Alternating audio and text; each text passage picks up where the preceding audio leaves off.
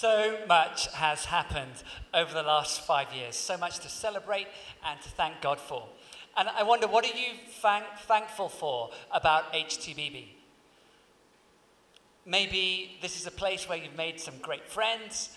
Maybe you're thankful that this is the place where you came to faith in Jesus. Maybe uh, you've encountered God in this place week in, week out. Maybe you're thankful because you were prayed for and healed here in this church. Or, or maybe you're just thankful because the sermons are normally quite short here. Today is about thanking and celebrating all that God has done. And we are so thankful for you. None of this would be possible without you, every single one of you. And if you're new here today, then it's great that you're here because today, yes, it's about thanking for the past, but it's also today about vision for the future of how the story will continue to unfold. The story of HTBB, our story, but also your story. Maybe uh, your life thus far, your story has been pretty tough. You can't change the beginning of the story. But you can start where you are today and change the ending.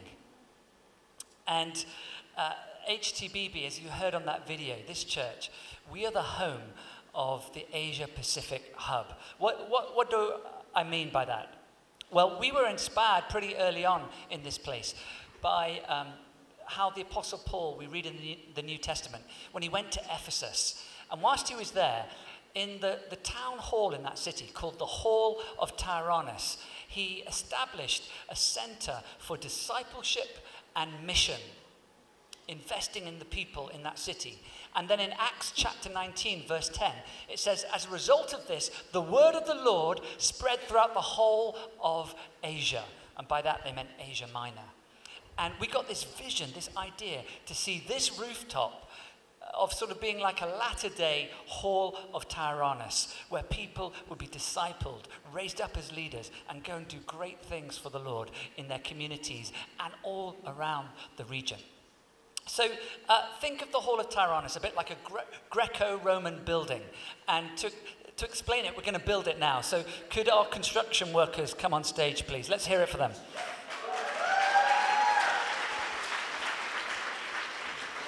There are sort of three pillars to the Hall of Tyrannus, three parts to it.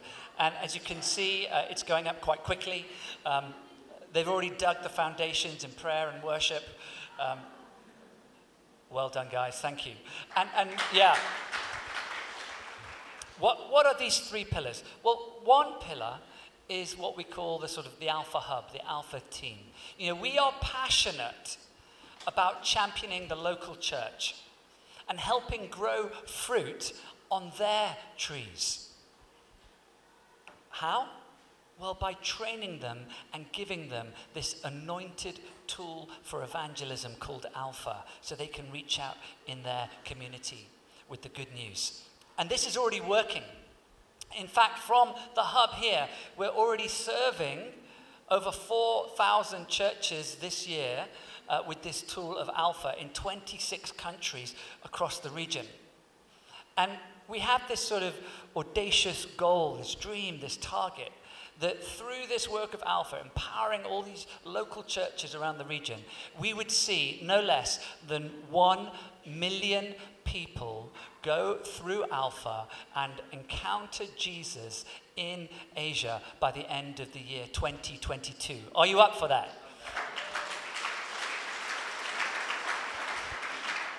Then the second pillar in the hall is SPTC, St. Paul's Theological College. We're building a world class college that raises up, equips, and empowers generations of anointed leaders who serve God in all walks of life. We're believing for layers upon layer of once in a generation type leaders who are gifted who are theologically minded and literate, who are spirit empowered, who are genuinely humble and prepared to count the cost to step out and see lives transformed, this city transformed, the nation and nations transformed for Jesus. Are you up for that as well?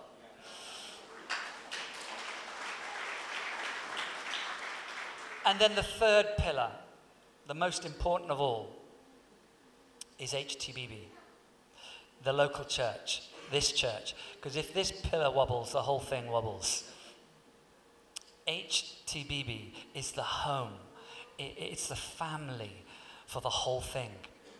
And this together makes up the hall of Tyrannus. And when I pray, uh, please weigh this, but in my spiritual mind's eye, eventually in the future, I see five such halls of Tyrannus around this region, helping serve the church to rise up at this moment in history. And today, I want to focus on this pillar, this family, HTBB. You see, Sarah and I want HTBB to feel like a family, a home where you belong, where you can be yourself, where you can grow and heal, a safe place where Jesus can transform you and He can pour His love into your heart, release gifts in you. You can grow in your gifts and use them to serve others, to see your school, your workplace, this city, this nation, and beyond transformed for Him.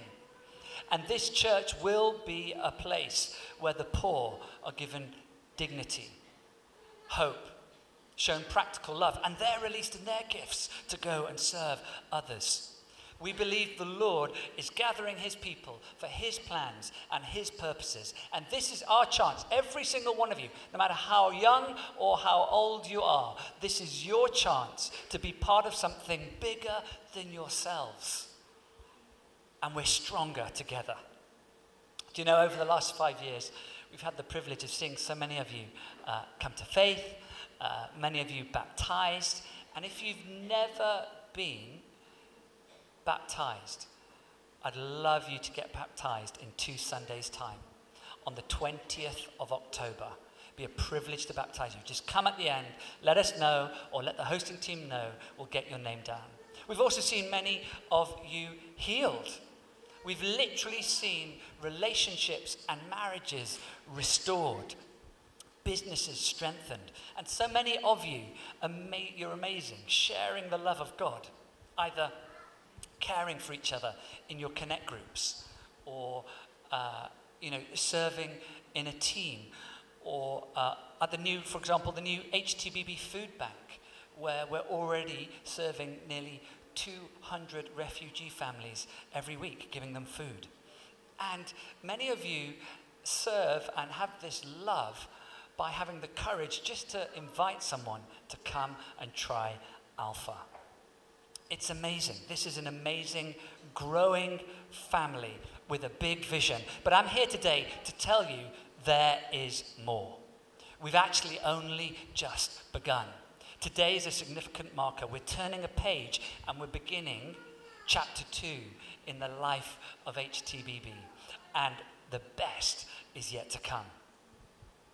And any big vision will face obstacles that'll stand in the way. In fact, the bigger the vision, the bigger the obstacles.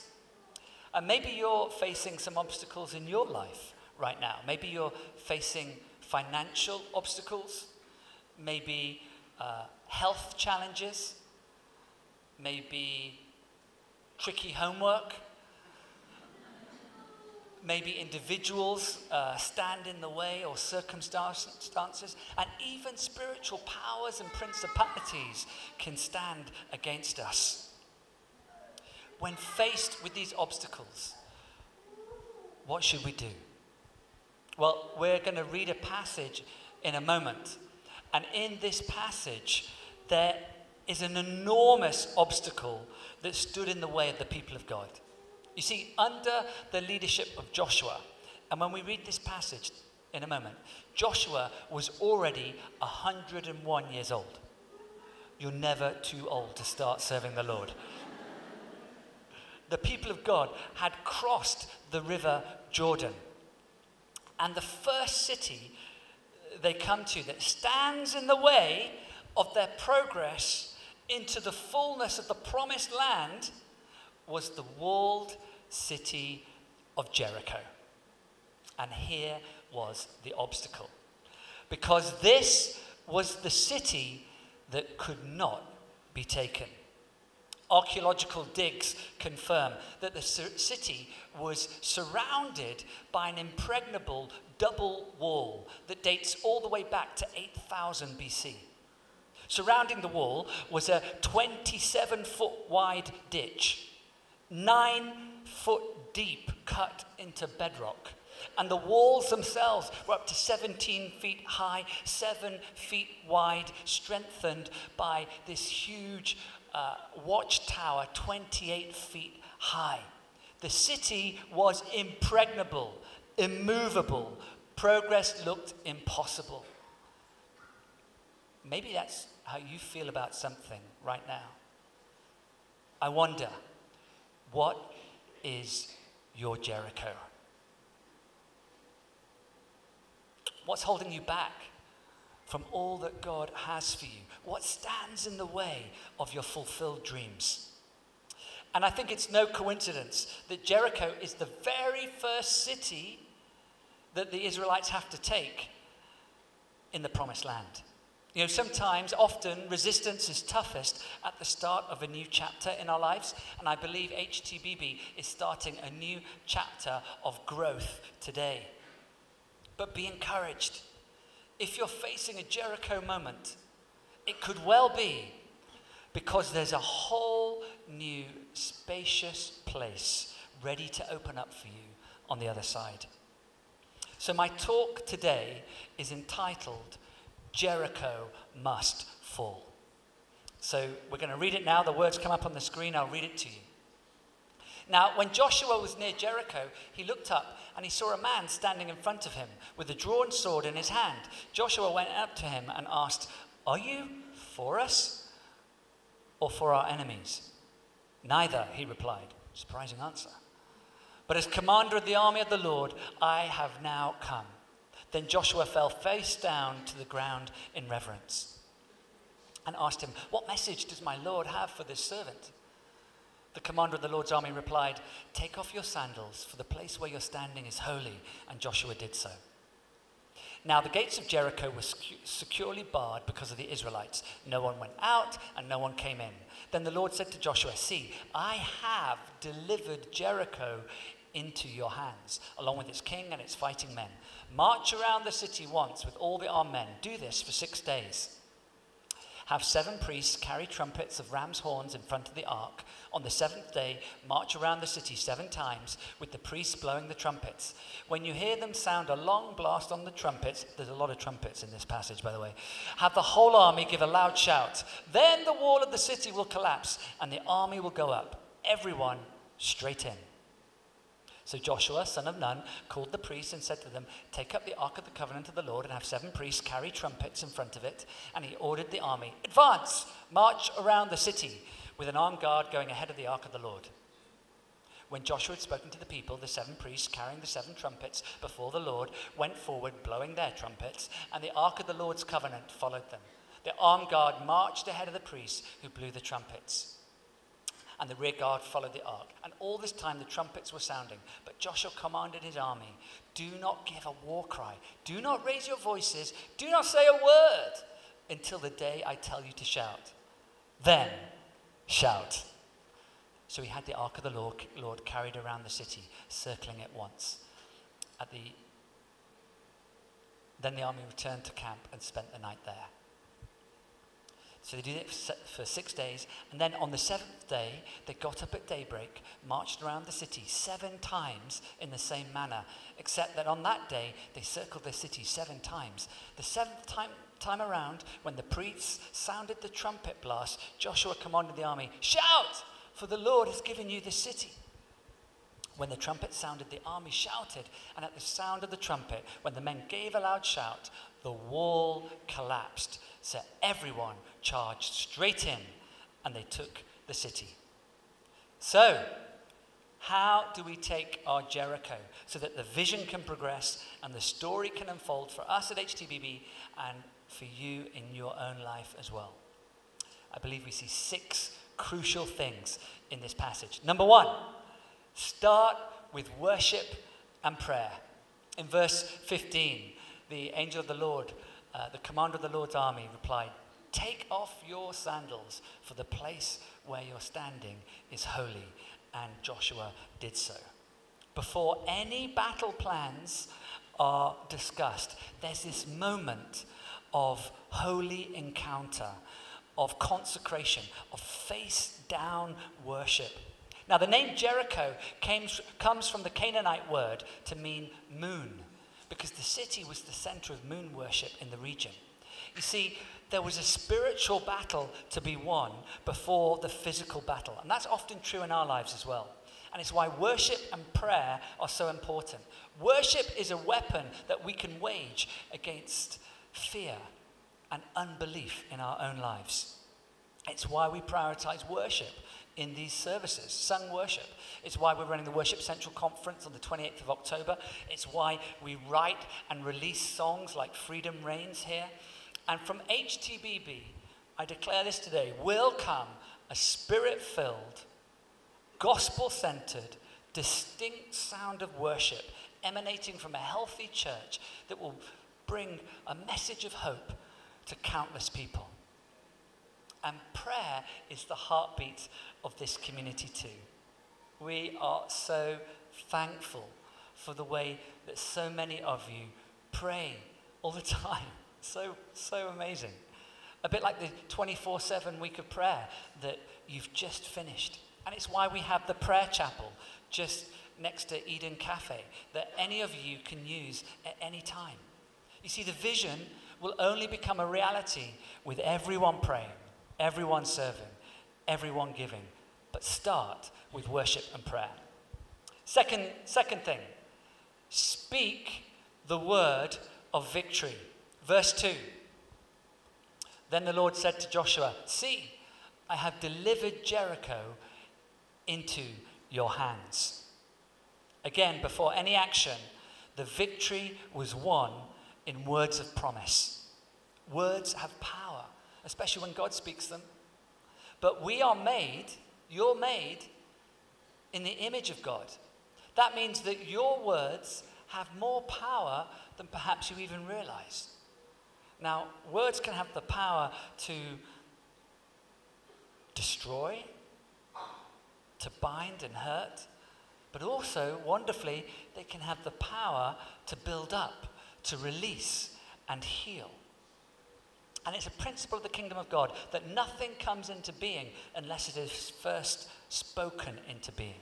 It's the power of proclamation. So I say to you now, your Jericho will fall. And this church will continue to grow. And this nation will be unified. Jesus will be hit, lifted high in this land.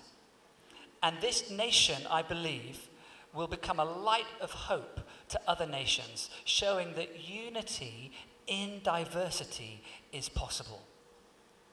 Any fears that you may have for your country will not come to pass. Speak a word of victory over your situation today and hear the trembling sound of walls under the weight of prophetic promise. Thirdly, obey the Lord. Verse 3, we, we read this. Uh, they're told, march around the city once with all the armed men. Do this for six days. Have seven priests carry trumpets of ram's horns in front of the ark. On the seventh day, march around the city seven times with the priests blowing trumpets. When you hear them sound a long blast on the trumpets, have the whole army give a shout.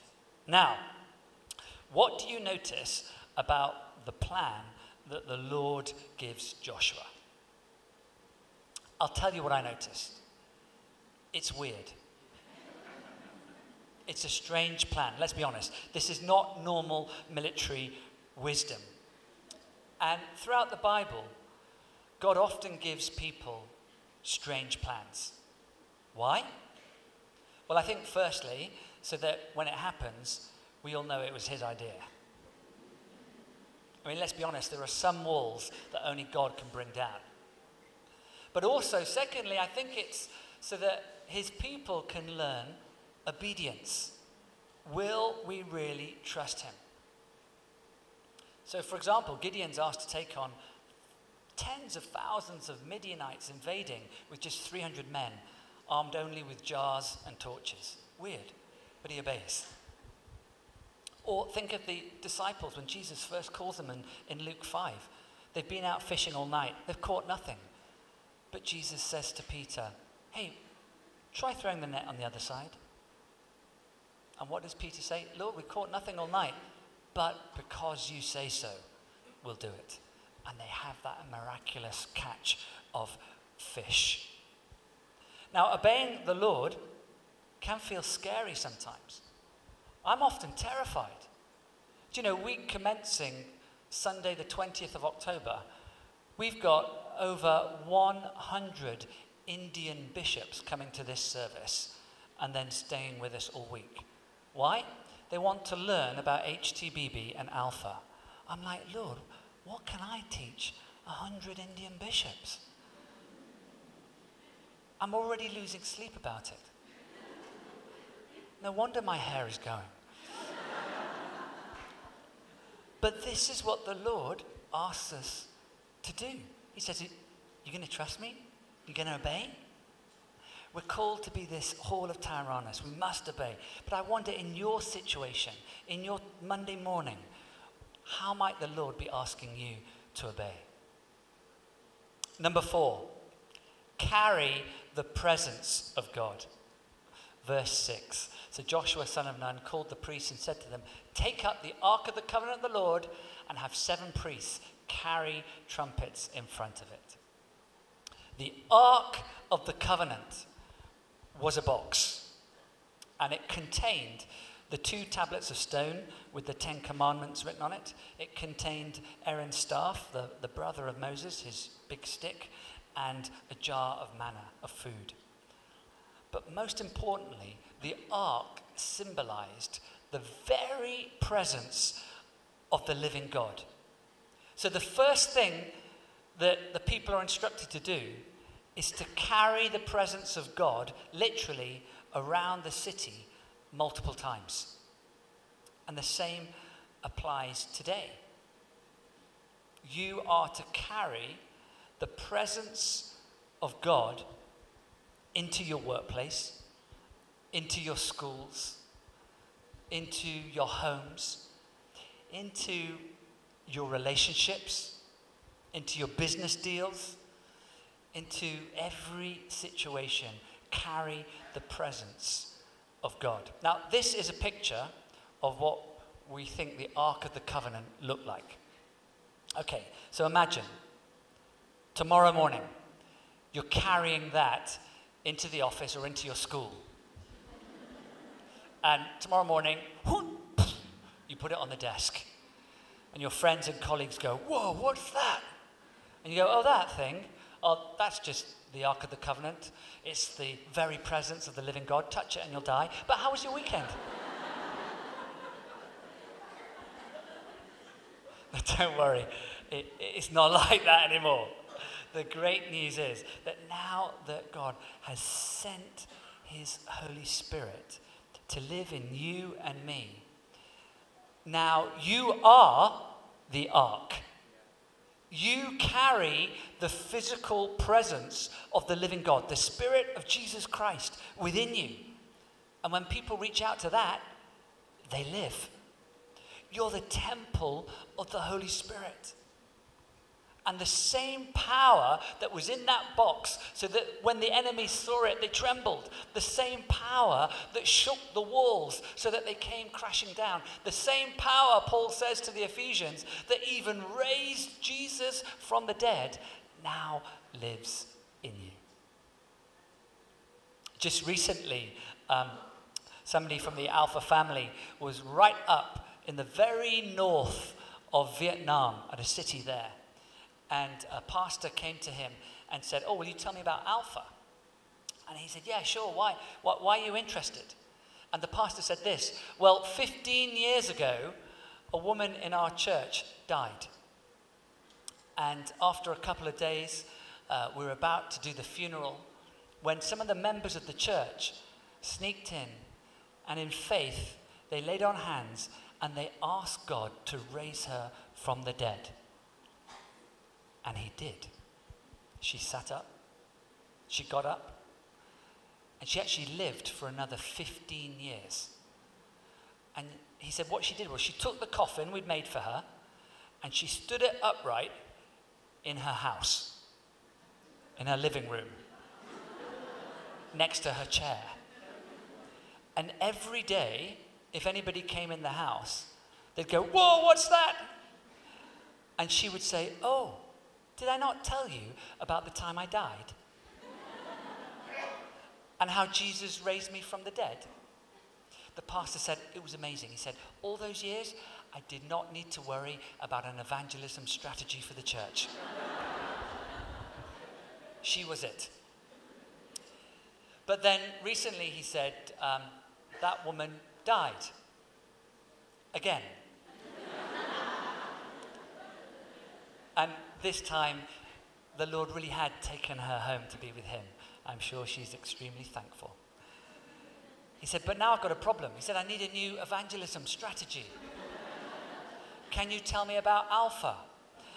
I said, Wow, I know Alpha's good, but it's not that good.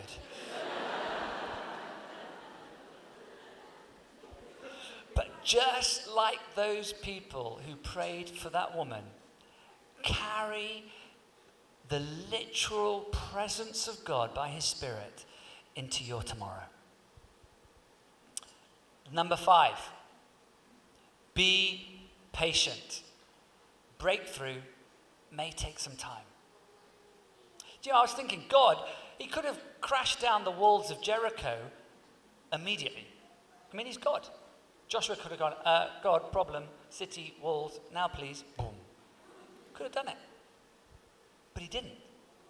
He tells them to walk around the city every day for six days looking like they're achieving nothing. And then on the seventh day, to walk around the city seven times. That was about four and a half kilometers. Still at this point, having achieved nothing. Why?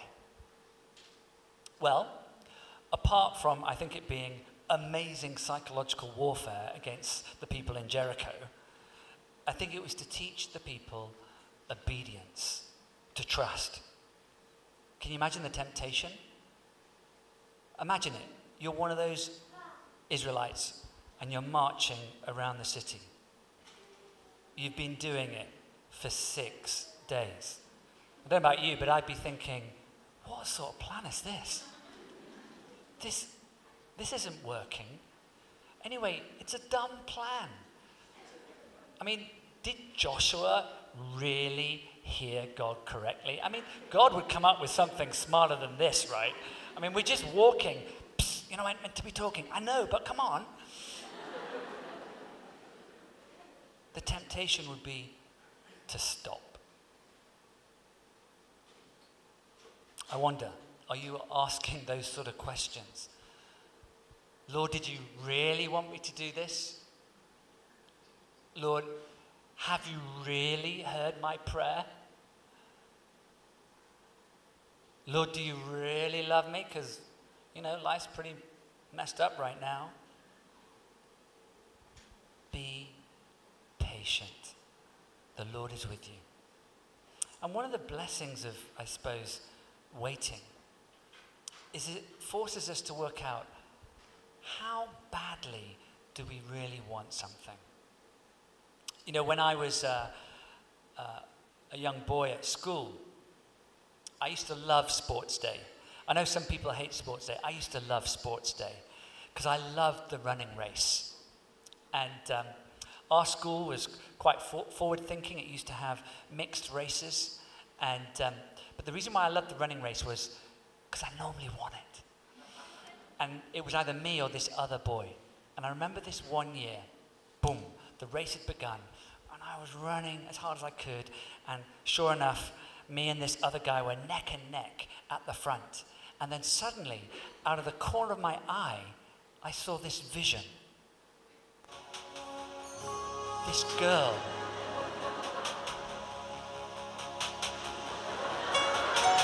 Running.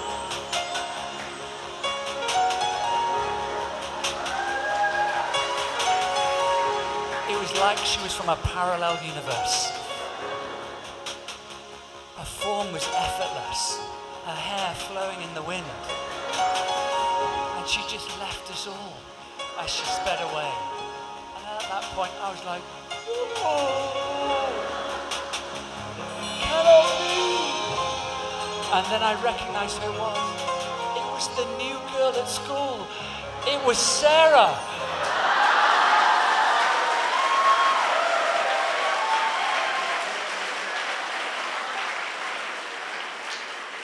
And at that moment, I knew, knew what I wanted. but I had a problem, an obstacle.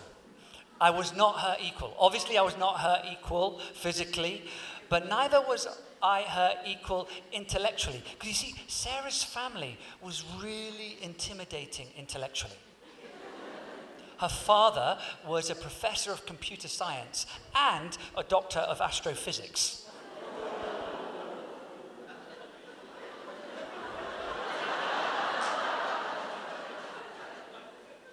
and her mother was an English teacher who just also happened to talk Italian. and her sister was a classic scholar. You know, in their family, they read novels in Latin for fun. In my family, in our house, the only degrees we had were on the thermometer.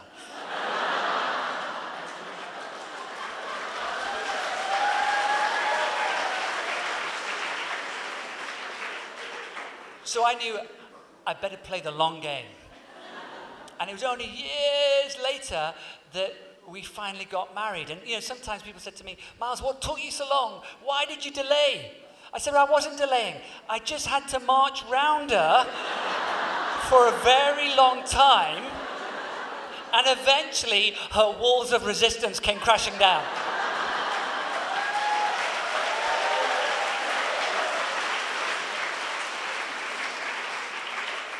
How badly do you want your Jericho to fall? you know, these, these are the principles that God will use in our life. You know, we're, we're, we're to start with worship and prayer. It begins as a spiritual battle. We're to speak words of victory over our situation. And uh, we're to obey whatever the Lord tells us to do carrying his presence, his power by the Holy Spirit, and to be patient. But here is the final point. This is so important. We are also, when the time is right, to move swiftly as one when the time has come. So, verse 5, we read this When you hear them sound a long blast on the trumpets, have the whole army give a loud shout. Then the wall of the city will collapse and the army will go up. Everyone straight in. And that's what they do. We read in verse 20 when the trumpet sounded, the army shouted, and at the sound of the trumpet, when the men gave a loud shout, the wall collapsed, so everyone charged straight in, and they took the city. When the time came and they were all to shout as one, the walls crashed down, and everyone was to move as one and go straight in. No delay, no hesitation. And they were to work as one. You know, Sarah and I, we don't want HTBB to be a place where people can say, oh, do you know what? If you're this type of person, you can fit in there. We do not want this church to have a type. This is a church where everyone is welcome, accepted, come as you are. This is a family. And we need every single person to be themselves. And actually, we need you. We need your help. We can only fulfill this vision together. Everyone praying, everyone serving, everyone giving. And if you're not on a team, please join one. Just have the courage to come forward and say, Hi, I'd love to serve. What team do you need help on? We've got lots of different teams. uh, worship, oh, I'm going to miss them out now, worship, production, uh, welcome, photography, uh, mingle team, uh, youth, um, alpha, uh, oh gosh, lots, cafe, but also CHTBB, Children's Church. We desperately need help with CHTBB. Why? Because it's just like the children just keep coming. I don't know where they come from. Well, actually, I do know where they come from, but you know, they, we just, just so many of them. We need help what, in every way. And, and here's, here's a great piece of advice generally in life. When you see God at work, join in. When you see Him at work, just join in. Move swiftly. It reminds me of how in uh, 2 Samuel chapter 5, King David is sitting underneath some poplar trees. And he's inquiring of the Lord, should I go out and engage the Philistine army in battle? And in verse 24, this is what the Lord says to him. He says this. He says, As soon as you hear the sound of marching in the tops of the poplar trees, move quickly, because that will mean the Lord has gone out in front of you to strike the Philistine army. Move quickly. I believe that's a word for someone here today. And in this, nation, in this nation, I believe we are hearing the sound of marching in the poplar trees. The Lord is on the move. We are to move quickly as one. And God can redeem that which is in your Jericho. Rahab lived in Jericho. And she became eventually the mother of Boaz, and therefore part of the genealogy of Jesus. Part of Jesus' family tree was in that very city. You see, this city, Jericho, which seemed to stand in the way of God's plans, was also used to bring about their ultimate fulfillment. God can use your Jericho in ways which today you couldn't even imagine. And as we move as one, we will play our part in the evangelization of the nations, the Alpha Hub the revitalization of the church, SPTC, and the transformation of society, HTBB. In Jesus' name. Amen. stand? Let's stand. We're going to pray now. We're going to ask the Spirit to come, to fill us, to fill this place the very presence of the living God. Remember, we're like the Ark of the Covenant, the temple of the Holy Spirit. So let's just ask to be filled again. Ephesians 5:18, Paul writes, "Be filled with the Holy Spirit." It's in the con- present continuous tense. So you might want to just put your hands out in front of you after it's the opposite of saying, Lord, I'm not interested. That was boring. This is like, I'm open, Lord. I'm in. So let's just pray. Come. Holy Spirit, would you fill us again now with your presence? And let's wait.